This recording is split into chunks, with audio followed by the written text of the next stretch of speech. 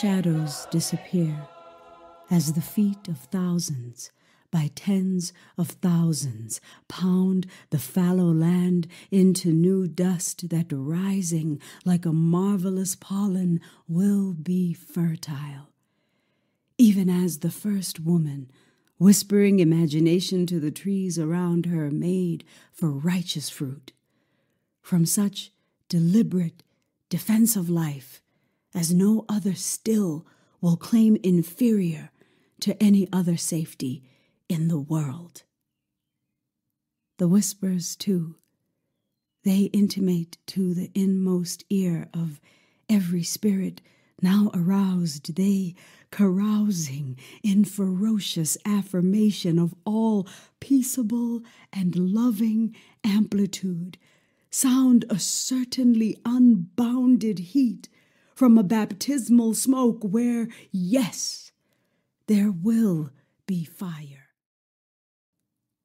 and the babies cease alarm as mothers raising arms and heart high as the stars so far unseen, nevertheless hurl into the universe a moving force irreversible as light years traveling to the open eye. And who will join this standing up? And the ones who stood without sweet company. We'll sing and sing back into the mountains, and if necessary, even under the sea.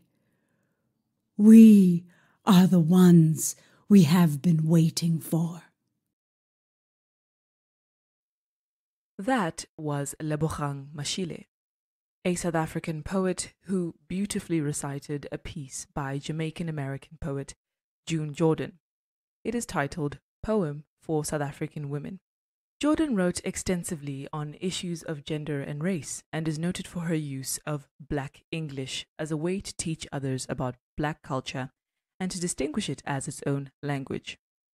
This particular poem was written to commemorate the 20,000 South African women who had a march at the Union Buildings in Pretoria on the 9th of August 1956.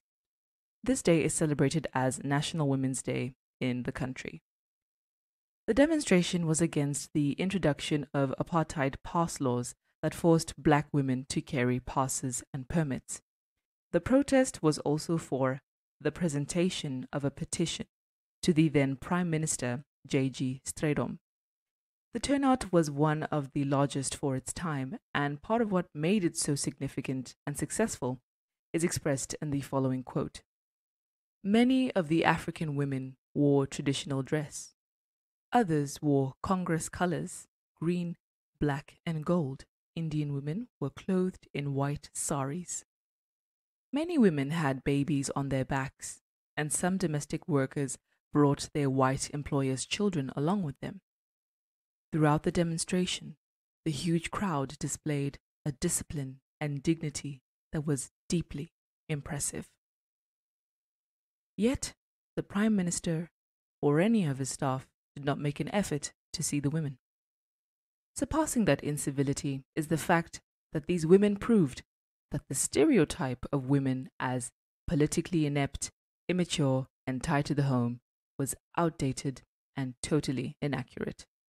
This introduces our probe into African feminism.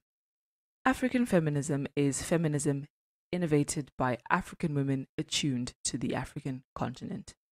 It has been suggested that African feminism became necessary partly due to white Western feminism's exclusion of the experiences of black women and continental African women. White Western feminism has a history of not taking into account the particular issues black women face at the intersection of both their blackness and womanhood. Currently, white feminism often classifies African women as women of color, which groups and thereby neglects the African woman's historical track and specific experience. Of course, Africa consists of 54 countries, each with their own culture. Most African feminist thought originates from Egypt, Nigeria, Tanzania, Ethiopia, Ghana, Kenya, Senegal, and South Africa. As African feminism seeks to address a variety of cultural issues, it manifests in various strains, and I will define them briefly. First, we have motherism. Motherism, as described by Catherine Obianuju Acholonu, comprises motherhood, nature, and nurture. A motherist is someone who is committed to the survival and maintenance of Mother Earth, and someone who embraces the human struggle. In her book, Motherism, the Afrocentric Alternative to Feminism, Acholonu clarifies that a motherist can be a woman or a man. It is not selective of sex, because at the core of motherism is partnership, cooperation, tolerance, love, understanding, and patience. Next, we have femalism. This is a theory developed by Professor Chioma Opara, wherein she describes the female body as a site of patriarchal abuse and violence. In the context of the African continent, it is the bearer of European colonialism and exploitation. She likens the female body to Mother Nature and draws parallels between African nations mutilated by wars, poverty, and disease and the battered female body. Next, we have snail sense feminism. This theory is proposed by academic and poet Akachi Adimora Ezeigbo. Snail sense feminism encourages women to work slowly like a snake in her dealings with men in the tough patriarchal society. This implores women to learn what she calls survival strategies to overcome social impediments and hence live a good life. Interestingly, she has a lot to say about Nigeria's political landscape, especially the deviant behavior male politicians engage in. In a short satirical piece titled Brave Stab, she brings attention to the politician's peculiar obsession with sex. It reads These men permanently stand for erection rather than election. The nation must call them to action. Sex scandal must cease. Next, we have Stiwanism. It was conceptualized by Omolara Ogundipe Leslie. The Stiwa in Stiwanism stands for Social Transformation, including Women in Africa. Ogundipe Leslie recognized that feminism was a contentious subject in African culture. A line from her publication reads The word feminism itself seems to be a kind of red rag to the bull of African men, which is why Stiwanism presents itself as a pragmatic approach to addressing African women's oppression, whose roots are admittedly convoluted. She asserts that the struggles African women endure are perpetuated because they have internalized the patriarchy and endorse the colonial and neocolonial structures that naturally place men on top. The next strain is nego feminism, which is the feminism of negotiation. The nego, as explained by Obioma Nnaemeka, stands for no ego in that this strain of feminism recognizes the importance of negotiation and compromise in African culture when wanting to achieve social change. In her publication, Nnaemeka writes that African feminism works by knowing when, where, and how to detonate, meaning set off, and go around patriarchal landmines. The last strain is African womanism. Womanism is a social theory based on the history and everyday experiences of black women. It holds that femininity and culture share equal importance in a woman's life. Her culture is not an element of her femininity, but it is the lens through which her femininity is understood. In the case of a black woman, her blackness is not a component of her femininity. Rather, it is the lens through which she understands her femininity. African womanism has two conflicting descriptions. The first description by Dr. Naomi Nkealah, who is an African, states that womanism isn't part of African feminism as it pertains to African women of the diaspora, that is, African women outside Africa, and not continental African women. The second descriptor is called Africana womanism, which was coined by Clenora Hudson Weems, who is an African American, who defined Africana as being inclusive of women on the African continent and women in the African diaspora. She calls for a complete separation from white feminism, a movement which she states was created by and for white women without any incorporation of the African experience. It brings to question how much she knows about the African experience as an African American.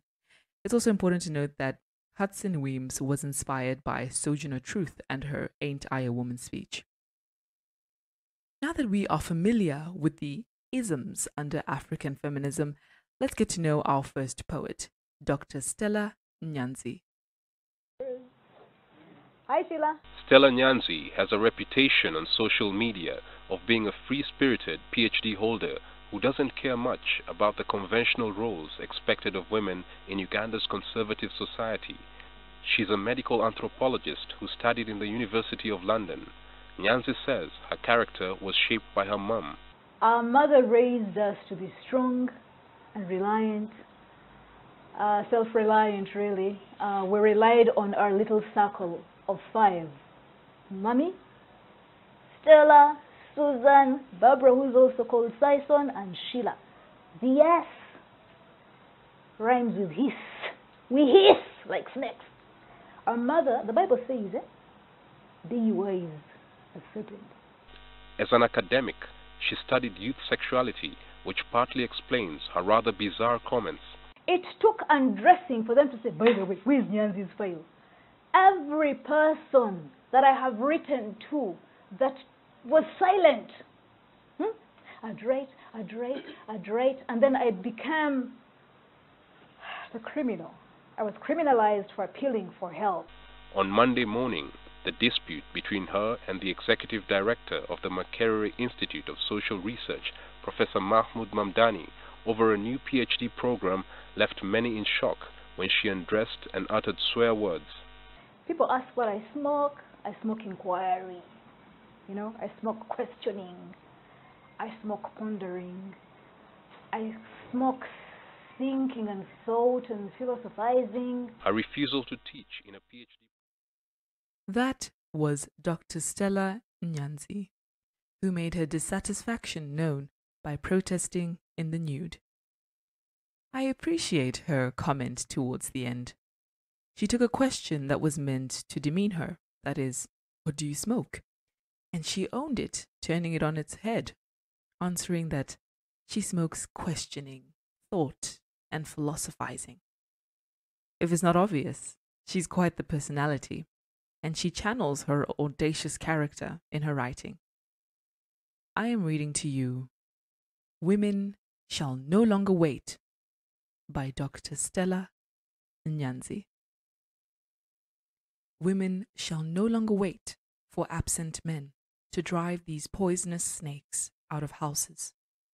We pick up your machetes, rusting away, and chop the venomous snakes into many pieces. Women shall no longer wait for castrated men to carry the coffins of kin killed by the state. We wear your trousers and your kanzus and lift the caskets to the graves dug by ourselves. Women shall no longer wait for timid men to fight for the liberation of Uganda. We pack missiles in our own pens and grenades in our mouths and shoot our truths at the dictatorship. Women shall no longer wait for blinded men to drive us to the beautiful promised land. We thicken the muscles of our legs and ride ourselves to freedom on bicycles and cars. Women shall no longer wait for faceless men to woo, love, or pleasure us. We wear dildos dipped in oil and inseminate ourselves with the strongest sperm. Need I say any more? This poem is a captivating expression of independence, delineating the many ways in which women can take up what are deemed to be mantles of masculinity. The mantles described in the poem are bravery, in that women shall take it upon themselves to defend themselves from harm. They shall have the backbone, wear the trousers, and attend to injustices done by the state. They will be the ones to fight for liberation, to take themselves to the promised land. And in what I think is the greatest claim of independence, they will rely on themselves for their own pleasure. Truly, a powerful way to end the poem. Everything before the last stanza is for the good of society, protection, liberation, and tending to injustice, whereas love and pleasure are so distinctive. And the speaker proclaims that with the same will and strength, women shall find it within themselves to fulfill that distinctive need, deeming men null and void, right? Or at least the absent, castrated, timid, blinded, and faceless men. Ironically, all these types of men that women shall no longer wait for bear traits that are somewhat associated with femininity being timid, castrated in a figurative sense, blinded, i.e., submissive, and faceless, which could mean not having an identity separate from a man. But I think that's a reach. Could we then surmise that women shall no longer wait for emasculated men? Or, or that the men in Nyanzi's context are all emasculated and so women must realize their potential? There's lots we can derive from this, especially if we consider African family dynamics and the subject of single mothers. Our next poet is Ijeoma Umebinyuo. She is a Nigerian writer who challenges the culture of silence in her homeland. This culture of silence permits the abuse of women and victim blaming. These are topics she addresses fervently. She writes short pieces, so I'll read a couple. They don't have titles, by the way. The first reads I did not know the bodies of women were meant to be a museum of tragedies, as if we were meant to carry the ocean without drowning. Before I talk about this, I want to warn that I will be talking about sexual assault, so please use the timestamps if you do not feel comfortable listening to this section. I think the Museum of Tragedies coincides with the alarming rates of child sexual assault. It is definitely a widespread issue. In Nigeria, almost 3 in 10 adults know someone who was sexually assaulted in their childhood. In South Africa, it is estimated that over 40% of women will be victims of sexual assault in their lifetime, and that only 1 in 9 of those assaults are reported. Victims go on with their lives laden with this tragedy, and because of the culture of silence, they are vulnerable to reoffense and mental harm, and their bodies exhibit the order of tragedy like a museum. Rarely is it one tragedy, instead, it is one tragedy that introduces a host of others, which is why I think the word museum emphasizes that these tragedies don't exist in isolation. The next poem reads I am woman enough to know you do not force womanhood out of girls, that you do not shame the bodies of girls, forcing them to carry themselves like an apology, to hold sorry on their lips. This poem touches on the ways in which patriarchy impacts women and girls. Let's refer to the theory of snail sense feminism that encourages women to develop survival strategies to overcome social impediments so that they can live a quote good life. The survival strategy being criticized here is the expectation for young girls to assume a lowly perspective of themselves, insecure and ever apologetic, as a way for them to make their way through life with little opposition. In Umebinyuo's words, this form of patriarchy works systematically to disempower girls and women, as they are stuck in a cycle of insecurity and self blaming. These two pieces are from her book, Questions for Ada. So that settles our exploration of African feminism. Let's get into the relationship between Islam and feminism, get to know some poets and thinkers, and have a go at some pieces relating to this relationship. It's the Arab world's version of American Idol, where, believe it or not, you become an instant star by reciting poetry. Man after man talking about soccer, life in the desert, and then a shock. In full niqab, a Saudi Arabian woman, Hessa Hilal, knees knocking. I am a strong woman. I am brave. This is the first time I'm standing in front of all of these men. She knew in her country there would be scorn, death threats, and there were. After all, Saudi women can't drive, can't travel, go to college without permission of a male. But her husband said he would support her for their four young daughters, the youngest autistic and cannot speak at all. And so she recited her poem.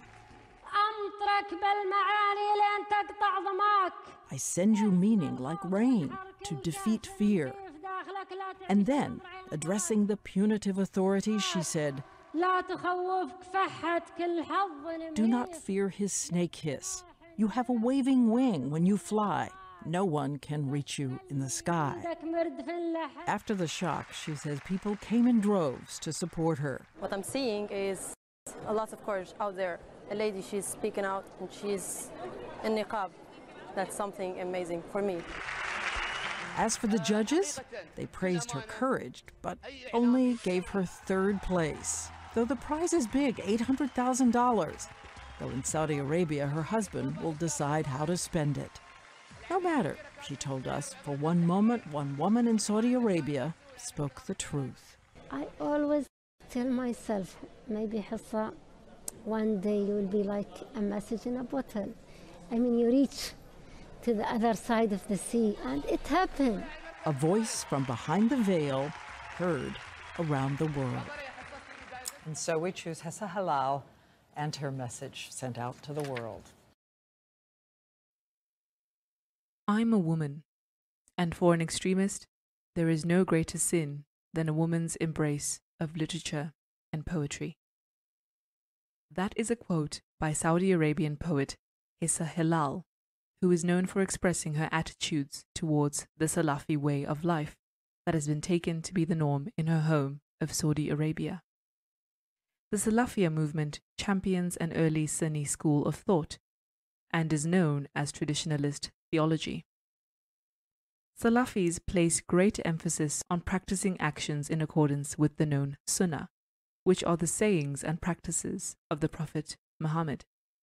Some scholars and activists propose that the Quran be the only source for guiding the relations between the sexes, because other sources, such as the Hadith and Sunnah, are understandings of the Quran influenced by a hierarchical and patriarchal society, and a great portion of the commentators in these sources were men.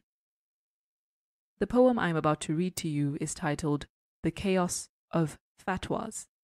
A fatwa is a legal opinion or decree handed down by an Islamic religious leader. Hilal describes her feelings towards extremism and the division it reaps.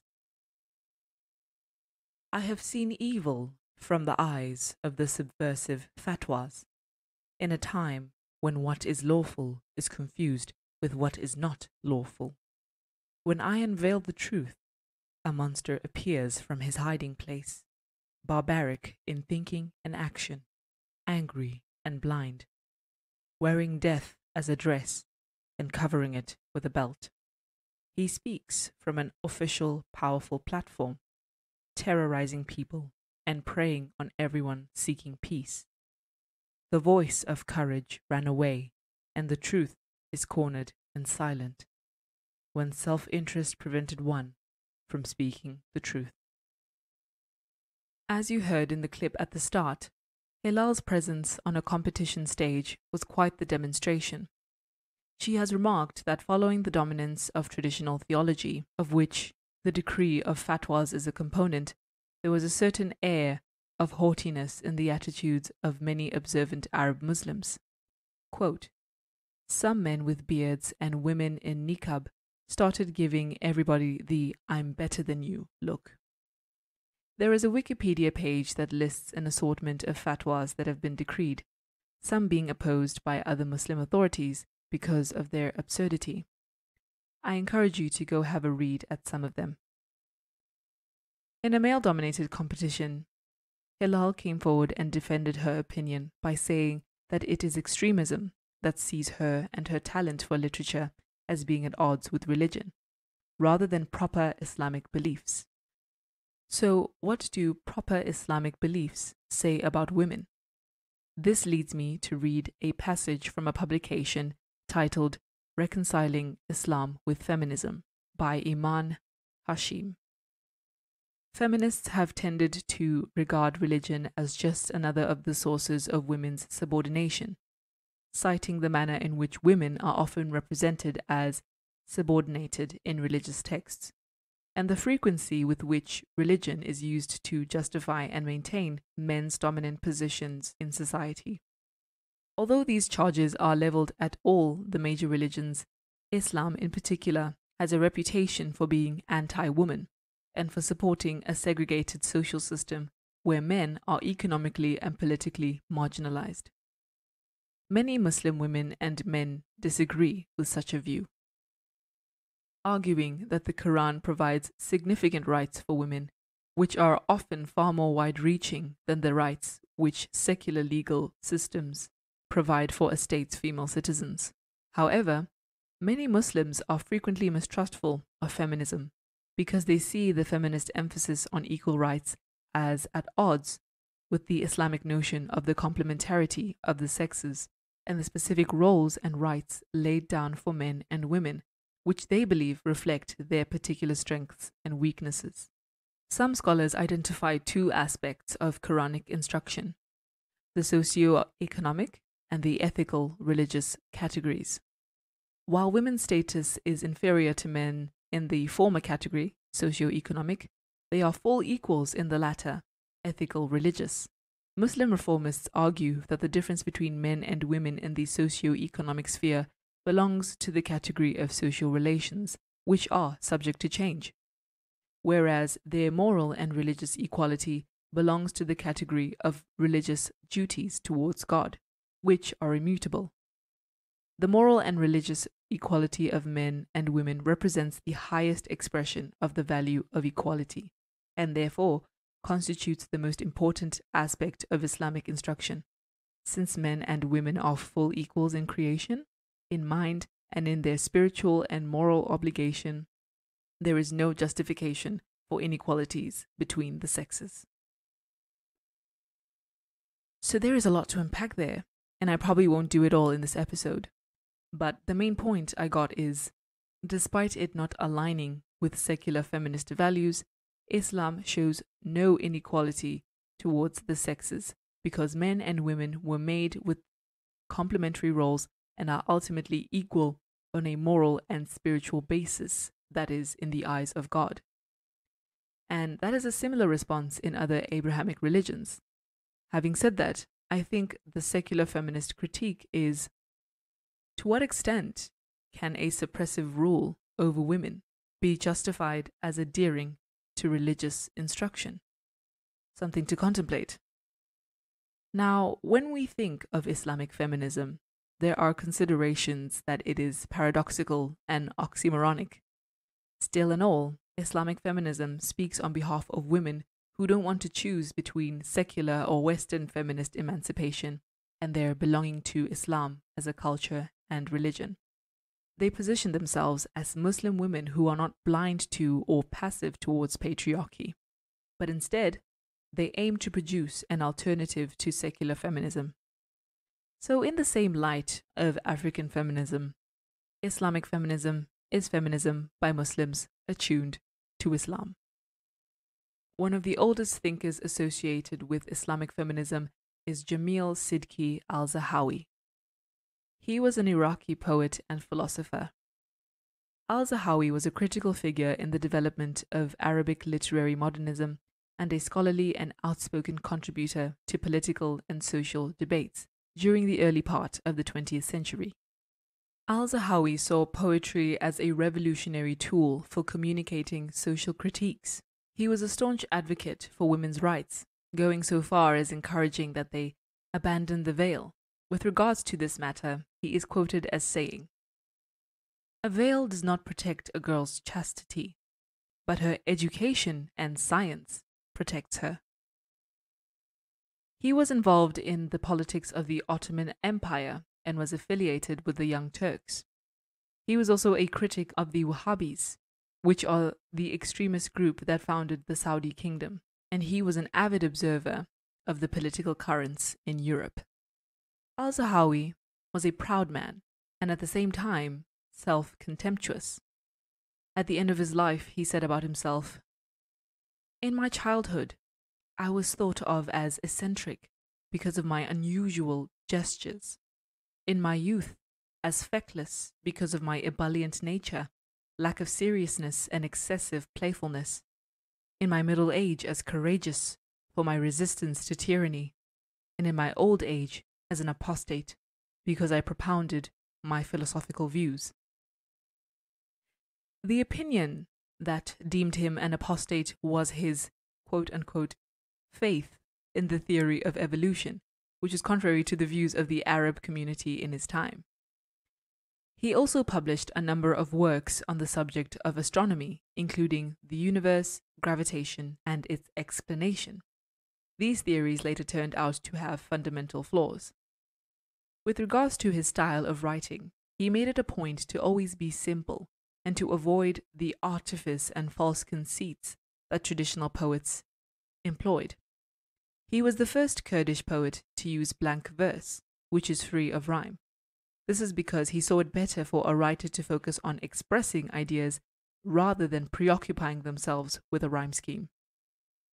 Another of his advocacies was against the practice of older men marrying adolescent girls, as well as forced marriage without previous acquaintance, polygamy, and male privileges. This is expressed in a poem titled Equality in Age. It reads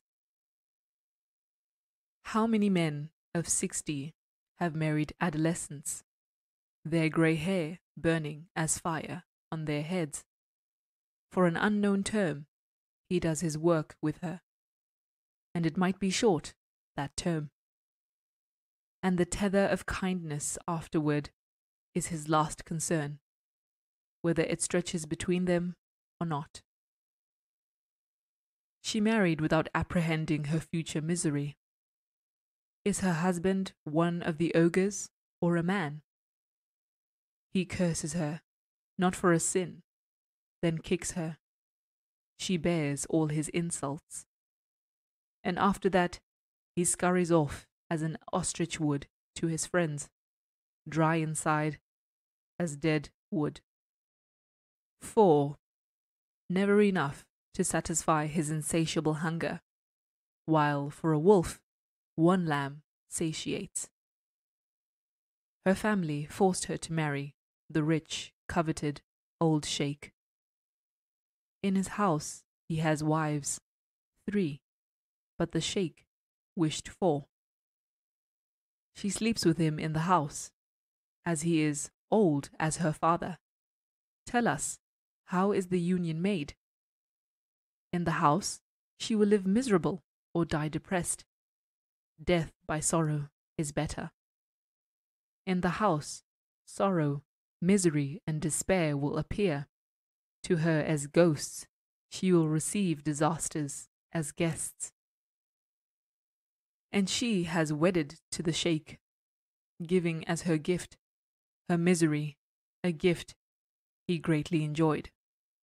She begged him, Please, Sheikh, don't bring me your desire.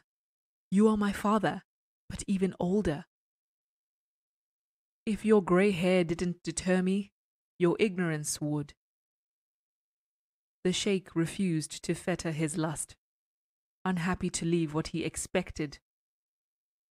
He puffed angrily, angling his brow, and grabbed her as she pushed him away, telling her, Asma, you are mine by Sharia, and what Sharia makes mine shall obey. God in heaven made you mine. He is wise and prescribes the right and the wrong. When she saw there was no one to defend her, preserve her from the sheikh. When the sheikh began to tire, she lifted a cup prepared with poison and provoked, gulped it down. This is one of al Zahawi's most celebrated works. It is immersive, provocative, and so insightful. The following lines telling her, Asma, you are mine by Sharia, and what Sharia makes mine shall obey. God in heaven made you mine. He is wise and prescribes the right and wrong. I think these lines summon the critique I mentioned earlier. To what extent can a suppressive rule over women be justified as merely adhering to religious instruction?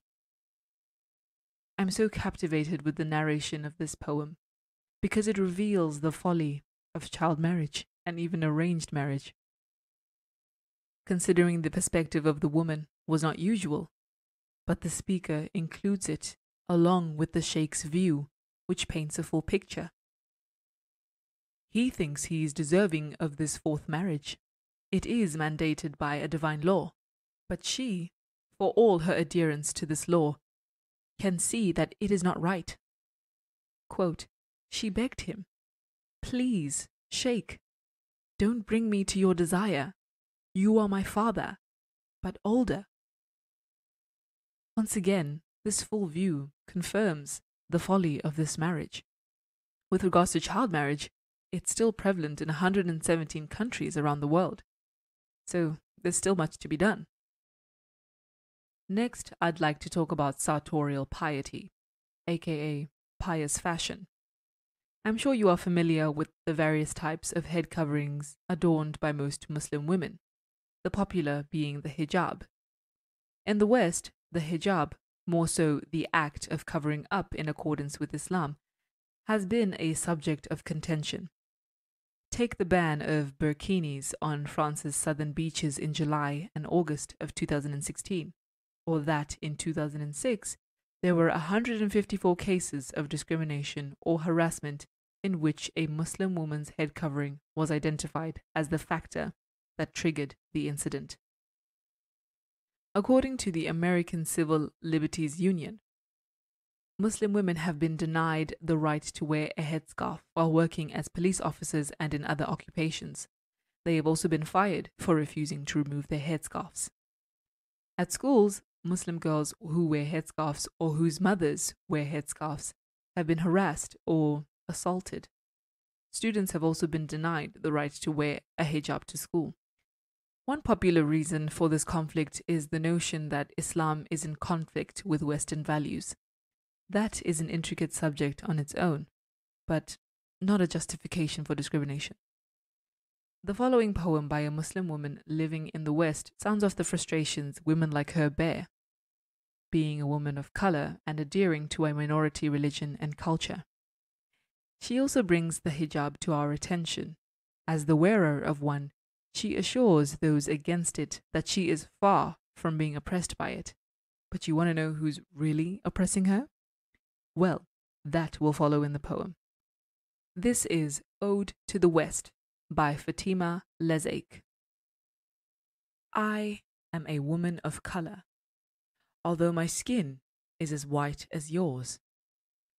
I make my own decisions, and I'm sick of your terror wars. I am a woman who gets stared at daily. All eyes are always on me.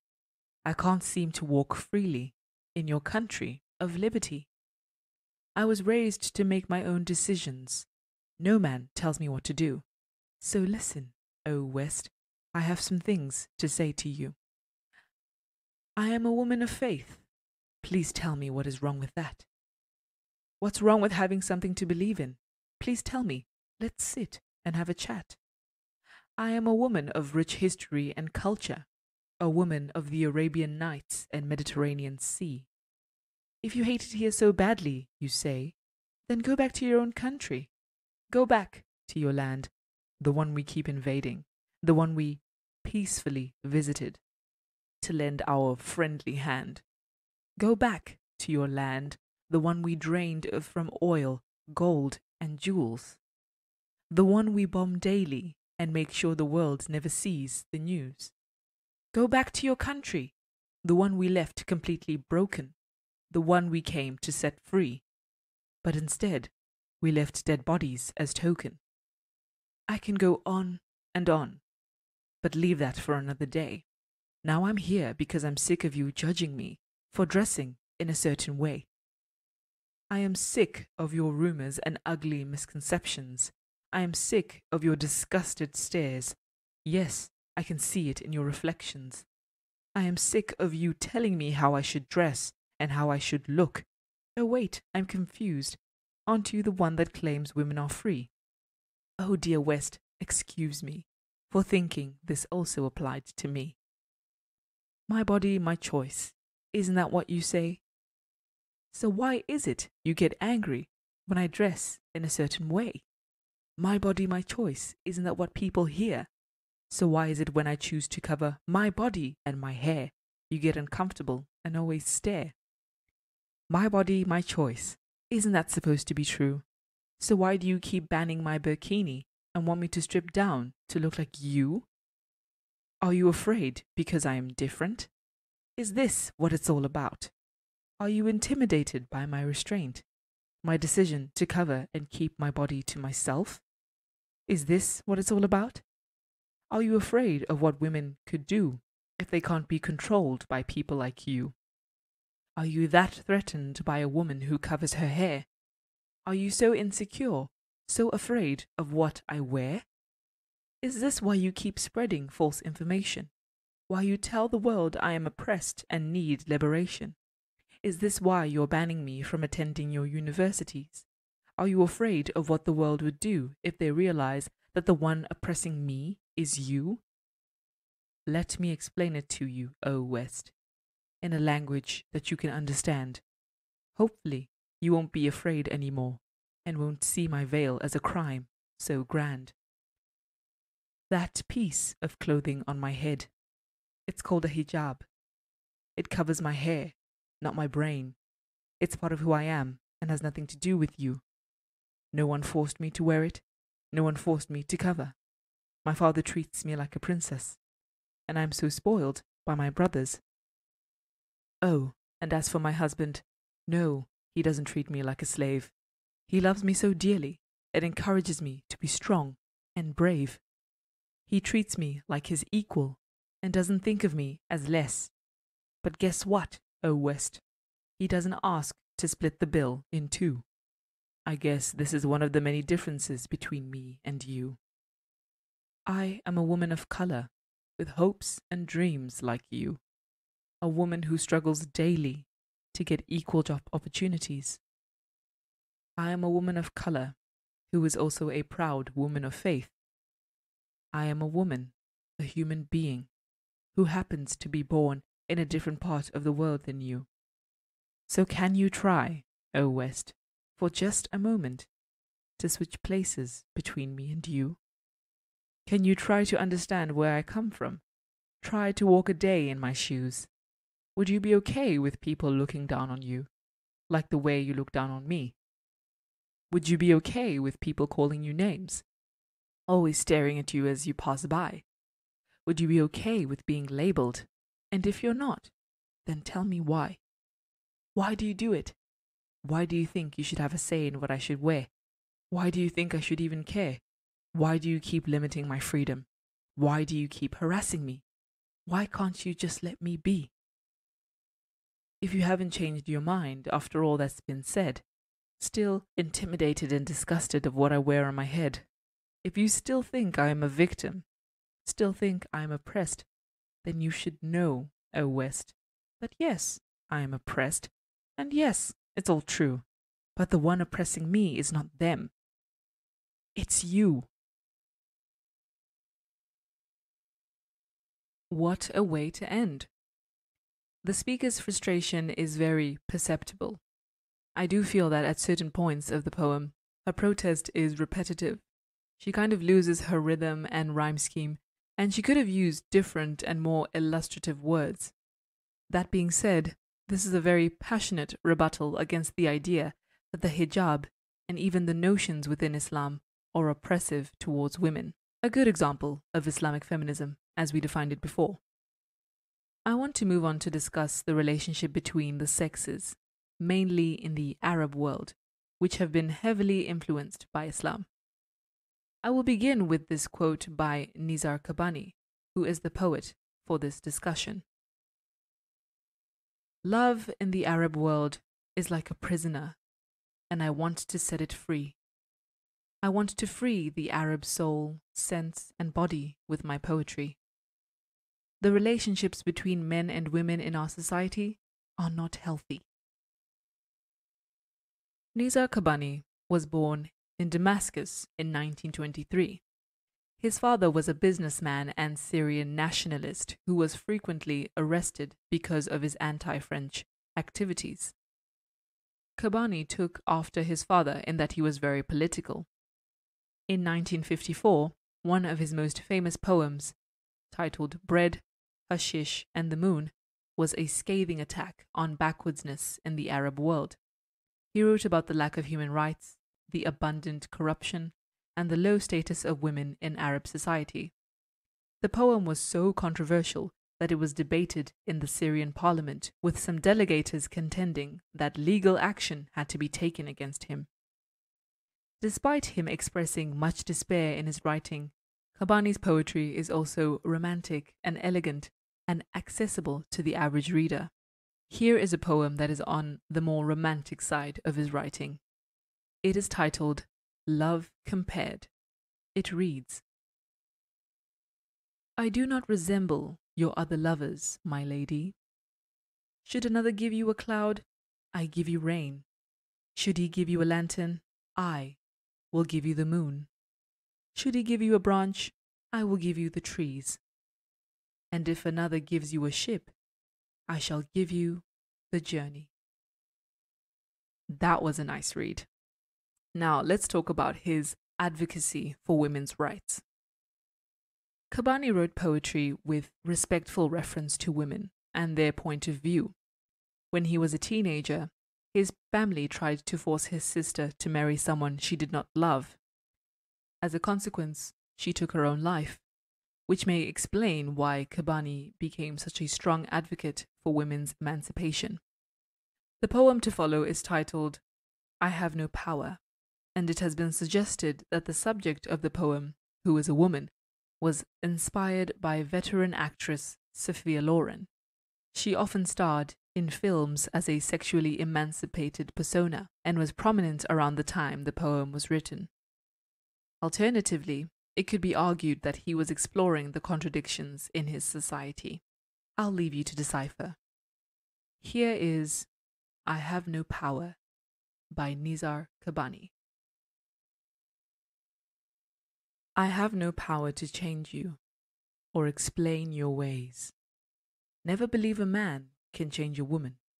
Those men are pretenders who think that they created woman from one of their ribs.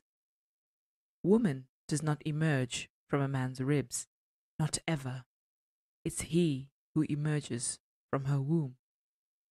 Like a fish rising from depths of water, and like streams that branch away from a river. It's he who circles the sun of her eyes and imagines he is fixed in place. I have no power to tame you, or domesticate you, or mitigate your first instincts. This task is impossible. I've tested my intelligence on you, also my dumbness. Nothing worked with you, neither guidance nor temptation. Stay primitive as you are. I have no power to break your habits. For thirty years you have been like this. For three hundred years, a storm trapping in a bottle. a body by nature, sensing the scent of a man, assaults it by nature, triumphs over it by nature. Never believe what a man says about himself, that he is the one who makes the poems and makes the children. It is the woman who writes the poems and the man who sings his name to them. It is the woman who bears the children and the man who signs at the maternity hospital that he is the father. I have no power to change your nature. My books are of no use to you, and my convictions do not convince you. Nor does my fatherly counsel do you any good. You are the queen of anarchy, of madness, of belonging to no one. Stay that way. You are the tree of femininity that grows in the dark, needs no sun or water. You, the sea princess who has loved all man and loved no one, slept with all men and slept with no one. You are the Bedouin woman who went with all the tribes and returned a virgin. Stay that way. Think back to the words of Moderata Fonte when she expressed that the priority in creation didn't matter, and if anything, it proved the superiority of women. For men were born out of the lifeless earth in order that women could be born out of living flesh. In a very inversive way, Qabbani says, Those men are pretenders who think that they created woman from one of their ribs. Woman does not emerge from a man's rib. Not ever. It's he who emerges from her womb, like a fish rising from depths of water, and like streams that branch away from a river. It's he who circles the sun of her eyes and imagines he is fixed in place. Both use religious allegories to make the point of women's superiority, while Fonte plays along with the creation story, Qabbani debunks the creation story. Quote, Woman does not emerge from a man's rib, not ever. It's he who emerges from her womb. Which could pose a challenge against the gender hierarchy found in religion. He has made it clear that patriarchy is founded on these debatable ideas rather than being a divine and immutable order. In light of this, he says, I have no power to break your habits. I have no power to change your nature, though it has been taught to me that I do. And so he salutes the woman in her freedom as the queen of anarchy, of madness, of belonging to no one, the tree of femininity that grows in the dark, that needs no rain or sun, the sea princess who has loved all men and loved no one, who has slept with all men and slept with no one, the Bedouin woman who went with all the tribes and returned a virgin. That woman, whichever woman she is, ought to stay that way. And that concludes our inquest in Islamic feminism. We're just about to end, but I'd like to take a detour and talk about misogynistic poetry because it has an interesting history. Misogynistic or anti feminist tradition, as it's called, dates back to the 15th century. A notable and supposed contributor to this tradition was Geoffrey Chaucer, who is considered the father of English lit. Some hold the opinion that he was an early feminist, while promotion of sexual misconduct and assault can be picked from his work. He is considered to be an early feminist because of the characters in the Canterbury Tales, his best known work. There are three pilgrims who are women, who are given voice, which wasn't the norm, and the female narrator was given more elaborate character traits than the male narrators. Conversely, the Miller's Tale and the Reeve's Tale unfortunately depict women as enjoying or easily recovering from said misconduct and assault. Countering his problematic tales was our girl Christine de Pizan. Isn't it nice to see how everything is just aligning? So before we get into our selected sonnet, let's get a bit more context. Writers of misogynistic satire would associate women with animals. The theological tradition, first espoused by early church fathers, contained teachings that claimed women to be closer to the body than men, as Adam was created in God's image, rendering men more spiritual, while Eve was created from Adam's rib, rendering women more bodily. This thought generated the idea that women were more sexual than men and were thus slandered as sexually insatiable to a beastly and even feral degree. I am reading you Like the She Cats in January by an anonymous 15th century poet. Just like the she cats in January go about fleeing with rage, so too goes my lady, every man should know, down upon the houses seeking respite. And if she can't find one who can fill her bushel, she goes about driving storms and such big lips, and fire seems to come out of her cage, until her large inkwell is satisfied. If, by disgrace, she can't find any pen that will give her its ink, she melts away like newly fallen snow. She quickly finds a way into such a wide street. She thrusts your pustule until it needs to shoot out. She'll remain atop you. So many innuendos, right? I'm reading you a very small section of an analysis done by Fabian Alfie. The opening quatrain sets the tone for the entire sonnet. In the third verse, the poet portrays the sonnet as a warning by men for other men, a typical strategy of misogynistic writers. The poet uses insulting and exaggerated language and indicates sexual organs and activities in remarkably blunt terms. Blunt language was a defining characteristic of satire in the Middle Ages and the Renaissance. The term satire was etymologically derived from satyr, and since satyrs were nude, so too did satires use unadorned language. The linguistic simplicity of satires helped poets fulfill their roles in decrying unethical behaviors. It is difficult to discern any ethical intentions in the sonnet at first, as it seems to be little more than an ugly portrayal of a sexually aroused woman, but it derives its morality from the literary tradition of misogynistic satire, which is the attempt to dissuade men from love and sexual contact with women. In the incipit verse, the writer compares the woman to a cat in her heat, meaning when a cat is in high fertility or something like that. The author bases his incipit verse on the observation that cats typically mate late in the winter. Like cats in heat, he writes, the lady's lust has driven her mad the comparison to the cat dehumanizes the woman, thus rendering her at the same level as an animal. The author of the sonnet, like many other misogynistic writers, represents her lust as debasing her human nature. Reinforcing the debasement, she is described as insane, devoid of any human reasoning.